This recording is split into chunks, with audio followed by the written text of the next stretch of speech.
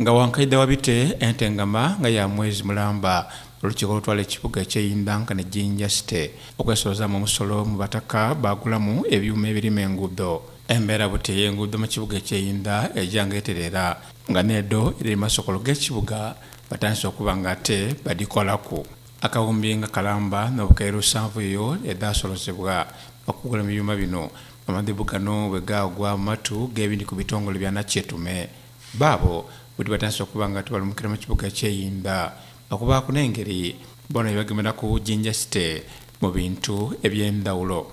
Ab'ekitongole kya usaid uganda olwaleero bwe bali bataka wale mu yafisi dameeya w'ekibuga ekyeyinda bona okubona omuwaatu amaze okuba nga tebabita okwamba ku jinja city mu nsoloza y'omusolo okutuusa ku bantu obuweereza obukalamu peter kasolo mbayo wa usaid uganda jonathan asoze kobera bano bataka mu kibuga So we've been to Mbale and we've been to Arua, and this week we're coming uh, to Jinja. So we're really excited to be here. So this week we're going to meet.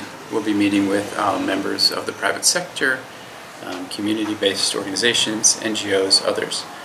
Um, and the goal is to really get sat outside of the embassy, get to know different groups, different people, and get a sense of what's going on. ng'ebintu kamala basobola okuba nga ate bamba ku jinja city singa nga bakulu baba nga basiimye omuli amasomero amasupatala enguudo n'ebindi ngoti n'ebyo Some of the main services like the, the roads seem really important. Um, reaching the elderly seems important. Health facilities, schools. I'm just generally curious on what the citizens ask for. Do they come with certain requests? oluviire wano batuseeku ni kongodo, nguudo ebirikolebwa akaire kamperaano ni karakita ndeste beli yankagula okubona omulimu bwe guli kuba nga ate gutambula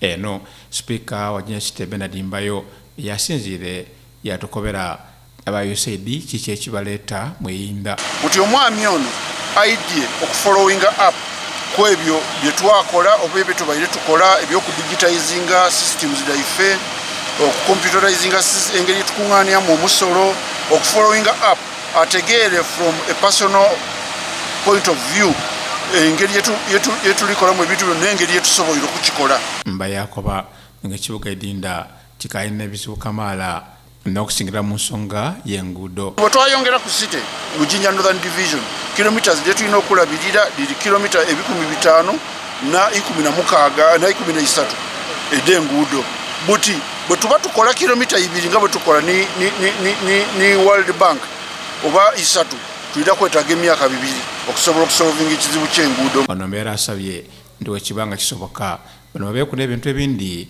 byebagemera ku jinja city ng'otwereku ekyenguudo nobwa street lighting.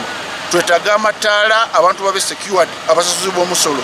Ekintu ekyokusatu tubakobye nti landfill yaife e- e- eri em- e- emasese tekasobola kumala. Tuli kusaba nti tulilocating landfill eyo ngeno efuses collection center tugirelocating tugitwale kuliya lwa tawuni tusobole okuprocessinga ebintu ebyo byona ate bituleetere sente musulo robert baba tv amakongo